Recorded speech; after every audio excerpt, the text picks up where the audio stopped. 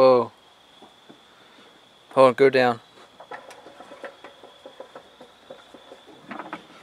Alright, you're clear now. Watch them change. Yeah, I'm watching. We only have a couple more inches we can go with Well, this thing. keep going. All right. Keep going.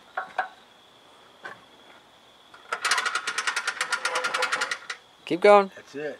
That's it? That's it. You're out of your mind.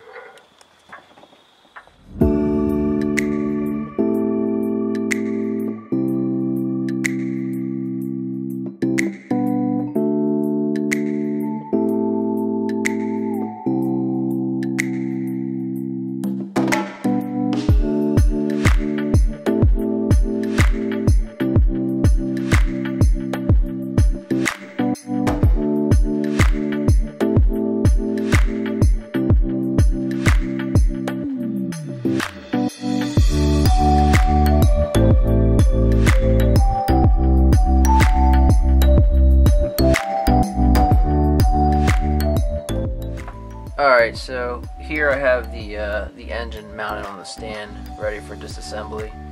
First we'll start with draining the oil.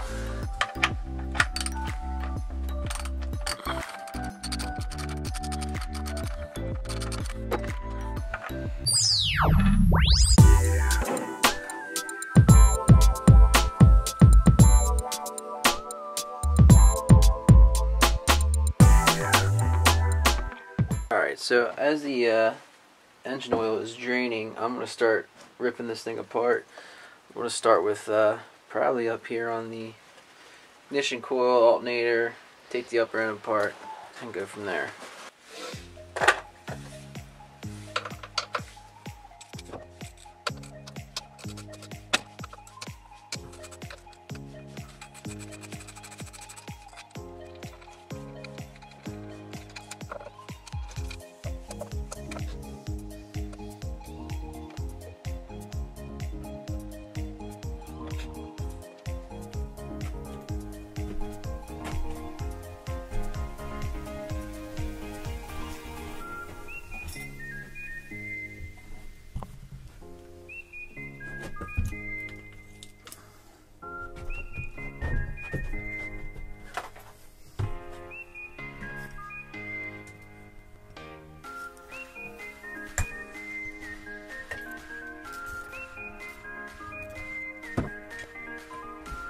So right now I'm setting the timing just to get a reference for later and look what I discovered here.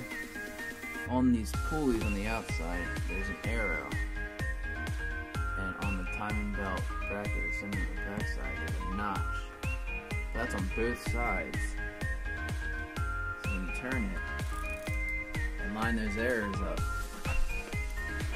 I'll go to side so you can probably see that a little better right there is top dead center. Piston number one should be at top dead center.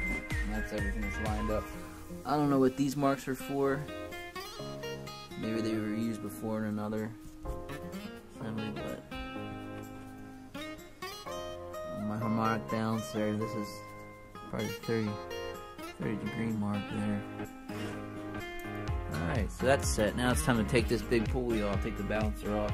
That way I can get this cover off. and Take the rest of all the pulleys out of the way.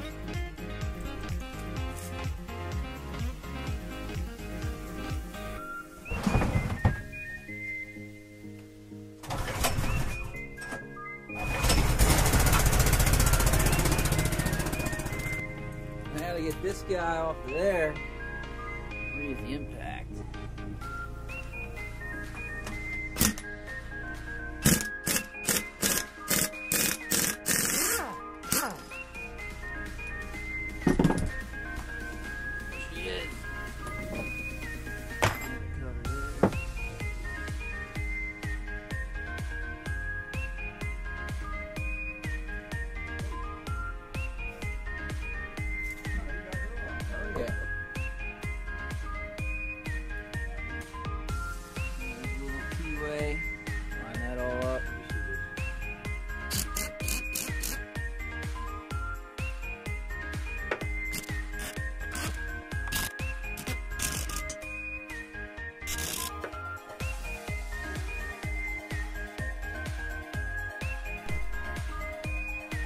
So as you can see, I'm pretty much down to, you know, removing this timing belt. And I have all my marks lined up. The arrow on this pulley here. The arrow on this pulley, if you can see that, it's kind of dark. Line up with the notches. My crank pulley is lined up with this little nub here coming off of your camshaft position sensor. And what I'm going to do, here's your tensioner with your tensioner pulley.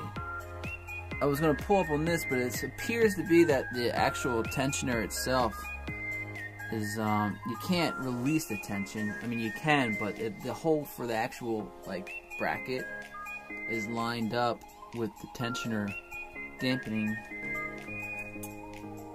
and I won't be able to put a pin through there to hold it. So it looks like I might just have to pop off maybe this lower bearing here, that lower pulley, and go from there. Actually, a plate.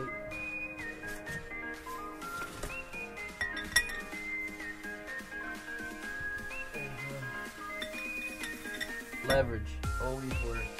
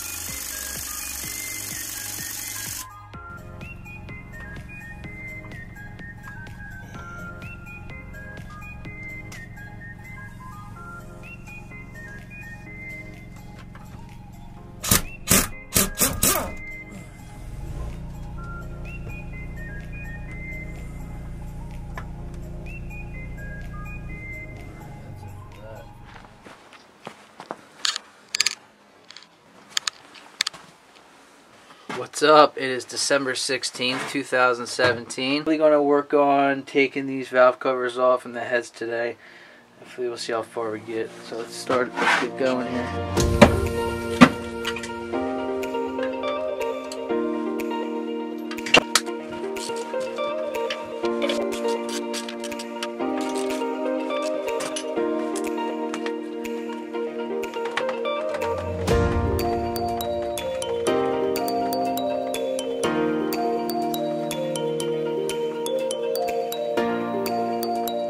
As you can see, I have the valve cover off, and I'm going to pop these cams off in order to get to the head bolts.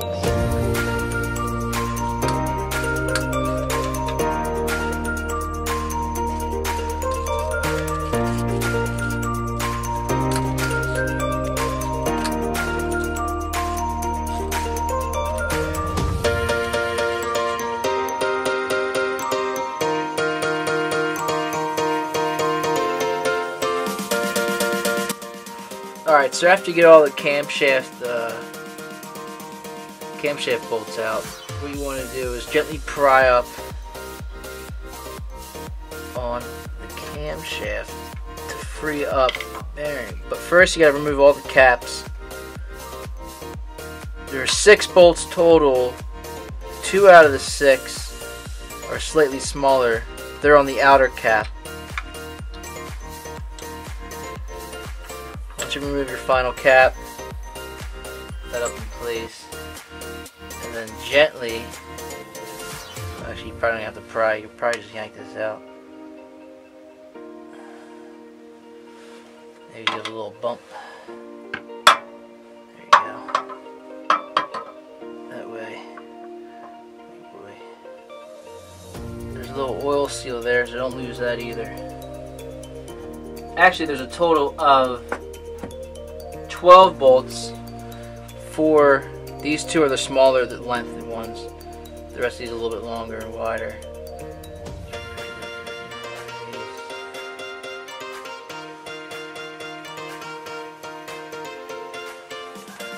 Now it looks like you have one, two, three, six head bolts on each side. So now I'm going to take those out. That way we pop this head off. Now this is a 14 millimeter 12 point socket for the heads. That's what I'm to take off right now.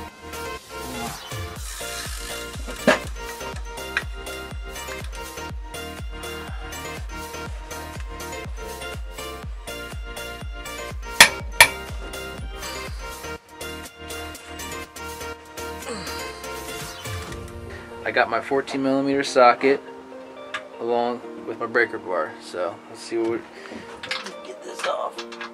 It'll come off that easy.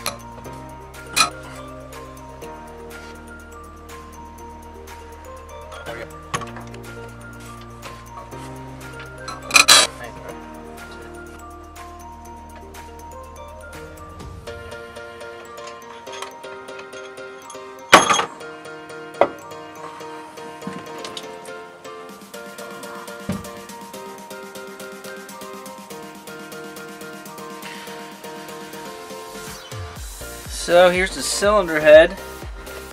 Got that one popped off. There's your exhaust ports.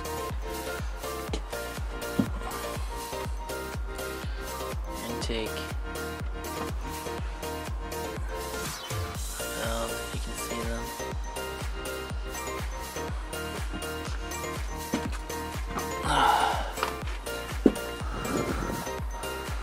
Cylinder walls are still pretty good.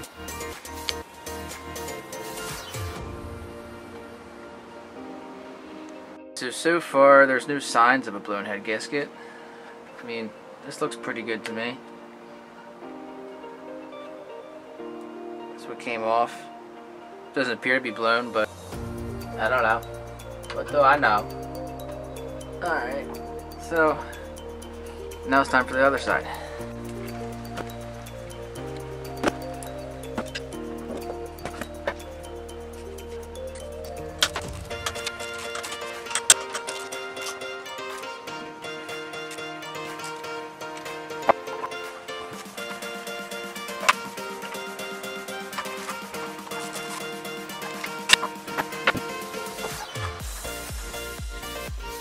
The second head off. Still not seeing any leaks. I don't see signs of a leak anywhere.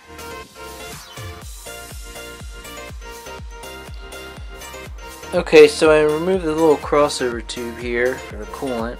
Now I'm going to flip the motor over and remove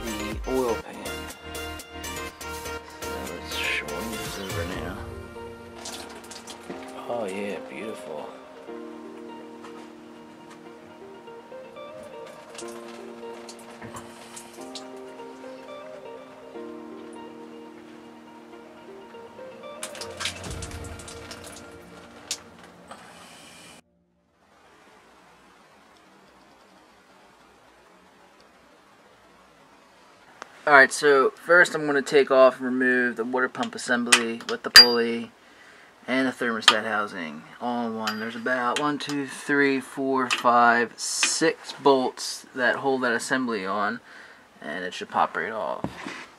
So.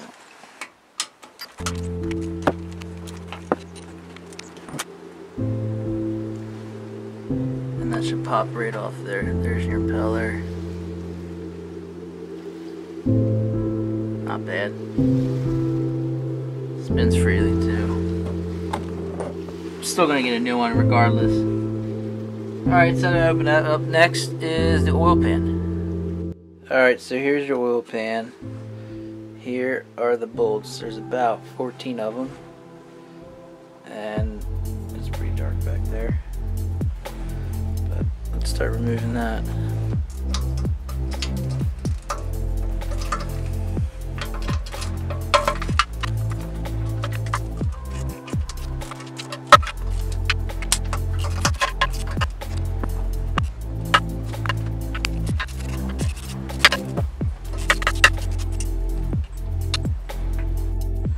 Alright, so now I have all the bolts out. Next step is to remove the pan. I am using this heel bar here. And rather than pry up on any of the sides, I decided that I'm going to just wedge it within the dipstick tube here. And try to pry up and maybe split that silicone. So let's try it. That was easy as I thought it would go. That came off smooth. Alright, so now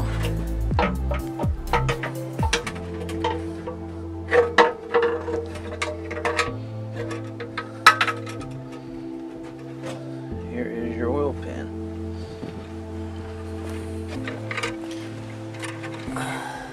Here's the inside here's your oil pump. Filter's pretty clean. So the next step is remove all these components remove the motor mounts and then we're going to pop this the block itself put it on the ground.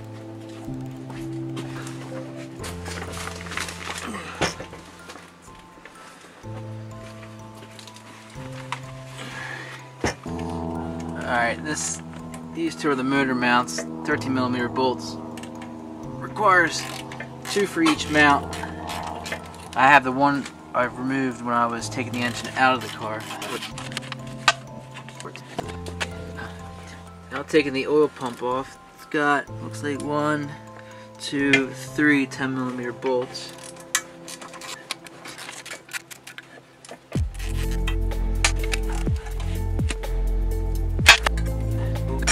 Looks like there's an O-ring.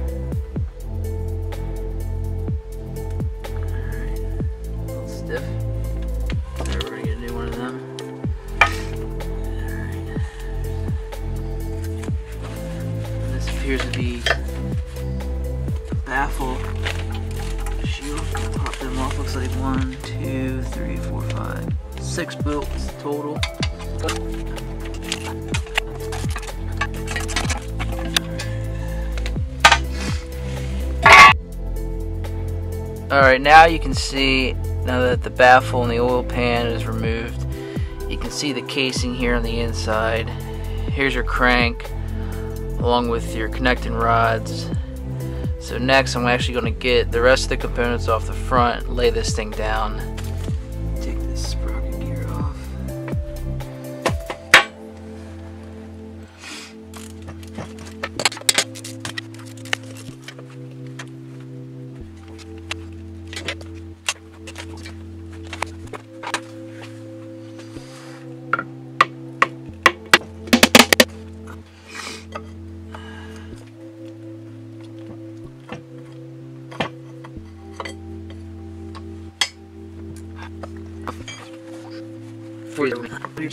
I'm gonna sign off and just leave, you know, the block dismantling next time.